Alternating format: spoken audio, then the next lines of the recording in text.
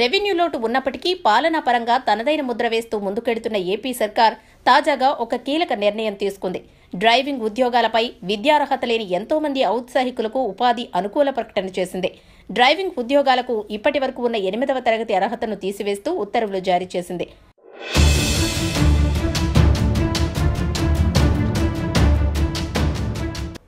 దీంతో ఇక నుంచి ఎనిమిదవ తరగతి వరకు చదివి ఉంటేనే డ్రైవర్ జాబులకు అర్హత అనే నిబంధన లేకుండా పోయింది. నిజానికి గతంలో డ్రైవింగ్ ఉద్యోగాలకు ఎలాంటి అర్హత లేదు. కానీ టీడీపీ ప్రభుత్వం వచ్చిన తర్వాత కొత్త నిబంధన పెట్టింది.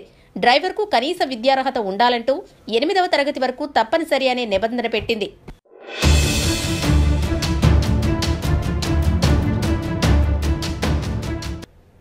తద్వారా డ్రైవర్ వెళ్ళే దారులపై కనీస అవగాహన కలిగి ఉంటారు అనేది యోచన. నిబంధన బాగానే ఉన్నా డ్రైవర్గా ఉపాధిని వెతుక్కుందామనుకున్న ఎంతో మందికి కనీస విద్యార్హత లేకపోవడంతో డ్రైవింగ్ ఉద్యోగాలకు అనర్హులుగా మిగిలిపోయారు. ఏపీ సర్కార్ తీసుకున్న డ్రైవింగ్ ఉద్యోగాలకు కనీస నిబంధన తొలగింపు నిర్ణయం చాలామంది నిరక్షరాస్యులకు ఉద్యోగ ఉపాధిని కల్పించే మార్గమైంది. ప్రభుత్వం తీసుకున్న తాజా నిర్ణయంపై ప్రశంసలు వెల్లువెత్తుతున్నాయి. కనీస విద్యార్హత నిబంధన తొలగింపుతో డ్రైవింగ్ను ఉపాధి మార్గంగా ఎంచుకుందామనుకునే చదువుకోని వారికి మంచి అవకాశం కల్పించినట్లయిందనే వాదనలు వినిపిస్తున్నాయి. అయితే ప్రభుత్వ నిర్ణయంపై విమర్శలు కూడా వస్తున్నాయి. డ్రైవర్కు కనీస విద్యార్హత లేకపోతే రోడ్డు మార్గాల్లో ఎలా ముందుకెళ్ళగలరని ప్రశ్నిస్తున్నారు.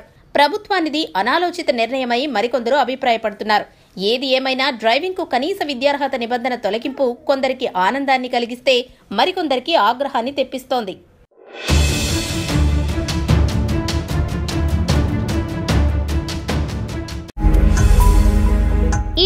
గనుక మీకు నచ్చినట్లయితే లైక్ చేయండి షేర్ చేయండి. మరిన్ని వీడియోస్ కోసం మా ఛానల్ను సబ్స్క్రైబ్ చేయండి.